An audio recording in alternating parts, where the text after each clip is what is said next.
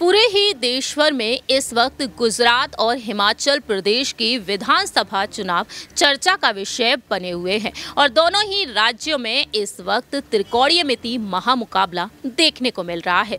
गुजरात में आम आदमी पार्टी मैदान में उतर आई है। भारतीय जनता पार्टी और कांग्रेस को यहाँ पर कई बड़ी चुनौतियाँ देती हुई नज़र आ रही है। तो वहीं हिमाचल प्रदेश में भी यही जंग देखने को मिल रही है। बारह नवंबर को हिमाचल प्रदेश में चुनाव होने जा रहे हैं। वहीं गुजरात में एक और पाँच दिसंबर को मतदान होगा और आठ दिसंबर को नतीजे सामने आएँगे। देखना दिलचस्प होगा कि आखिरकार गुजरात और हिमाचल प्रदेश में किस पार्टी की जीत होती है। लेकिन दूसरी ही तरफ़ राजस्थान में जो सियासी संकट गहराया हुआ है, इस सियासी संकट के बीच बीजेपी लगातार हुंकार भर रही है। जी हाँ मौजूदा मुख्यमंत्री अशोक गहलोत और उनका पूरा ही गुट, जहाँ एक तरफ़ खिलाफ खड़े हुआ है, युवा नेता सचिन पायलट को, क्योंकि गहलोत गुट नहीं चाहता है कि सचिन पायलट को मुख्यमंत्री पद के लिए दावेदार बनाया जाए। लेकिन दूसरी ही तरफ़ बीजेपी यहाँ पर जीत के लिए ताक में बैठी हुई है। ऐसे में यहाँ पर गहलोत सरकार के खिलाफ, गहलोत गुट के खिलाफ बीजेपी ने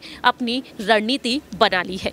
नमस्कार, मैं प्रांशी राठौर और आप देख रहे हैं नेक्स्ट नाइन न्यूज़। इस वक्त की जो बेहद बड़ी खबर सामने आई है, जो सामने आया है कि आखिरकार पीएम नरेंद्र मोदी राष्ट्रीय अध्यक्ष जेपी नड्डा और केंद्रीय गृह मंत्री अमित शाह जी की क्या कुछ प्लानिंग प्लॉटिंग है? क्या कुछ मास्टर प्लान है? दरअसल, गहलोत सरकार को गहने के लिए अब 200 विधानसभा क्षेत्रों में आक्रोश रैलियाँ निकाली जाएँगी बीजेपी की तरफ़ से। गुजरात और हिमाचल प्रदेश के चुनाव के बीच इस वक्त बीजेपी राजस्थान में जीत हासिल करने के लिए भी अभी से तैयारियाँ शुरू कर चुकी है। गौर करेंगे यहाँ पर उस लेटेस्ट खबर की तरफ़ की आखिरकार उस लेटेस्ट खबर पे क्या कुछ सामने आया है।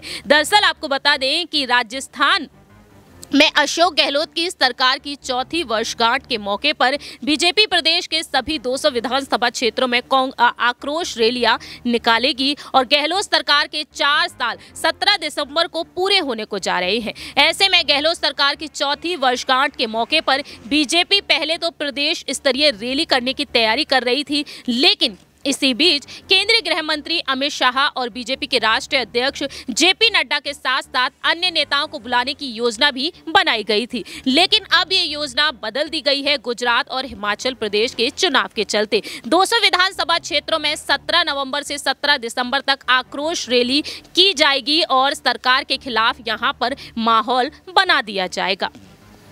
इतना ही नहीं, आपको ये भी बता दें कि रैलियों में विधायक और पिछले चुनाव में पार्टी के टिकट पर हारे नेताओं के साथ प्रदेश के पदाधिकारी भी शामिल रहेंगे। तकरीबन एक साल बाद होने वाले विधानसभा चुनाव को देखते हुए अब बीजेपी बेरोजगारी, किसान कर्ज और बढ़ते अपराध, महिला उत्पीड़न के साथ साथ कांग्रेस के आंतरिक असंतोष जैसे मुद्दों को लेकर लगातार अब गहलोत सरकार को घेरने का प्रयास करती हुई दिखाई देगी। इतना ही नहीं, आपको ये भी बता दें कि बीजेपी के प्रदेश कार्य समिति एवं प्रदेश पदाधिकारियों की दो दिवसीय बैठक झुंझुनू में 12 और 13 नवंबर को बुलाई गई है और इस बैठक में पार्टी के वरिष्ठ नेताओं के साथ ही प्रदेश पदाधिकारी भी शामिल होंगे, जिसमें गहलोत सरकार को घेरने और चौथी वर्षगांठ पर ब्लैक पेपर जारी करने को लेकर चर्चा होगी। इस तरीके से भारतीय जनता पार्टी यहाँ पर रणनीति बनाती हुई दिखाई देने वाली है। देखना दिलचस्प होगा कि सीएम अशोक गहलोत और सचिन पायलट यहाँ पर किस तरीके से बीजेपी को जवाब देते हैं। हमारी इस रिपोर्ट में इतना ही। बाकी की तमाम अपडेट्स के लिए आप देखते रहिए नेक्स्ट नाइन न्यूज़।